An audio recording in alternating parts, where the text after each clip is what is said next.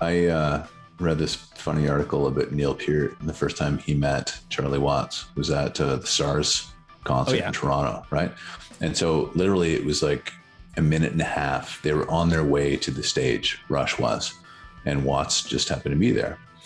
And so uh, it's it's told from the perspective of Neil Peart. So he's walking, and Neil Peart's not like a super social guy, right? Like he's very businesslike, and he's like you know he's focused, and he's not you know shaking people's hands. He's he's he's there to play, and so he's walking, and this this uh, little short older man comes up to him and says uh, hello, and he looks at him and he says uh, hello, and he's kind of like he's focused on like trying to get to the stage, right? And he's like, who the fuck is this guy?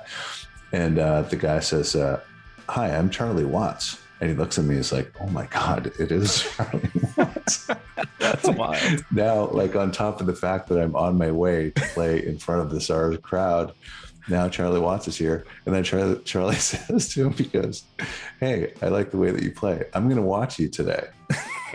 and then Peart's like, holy shit. On top of this now, I have like one of the Rolling Stones fucking watching me. Analyzing my play. Right. and, and he's just like, I was just, Yeah. you know,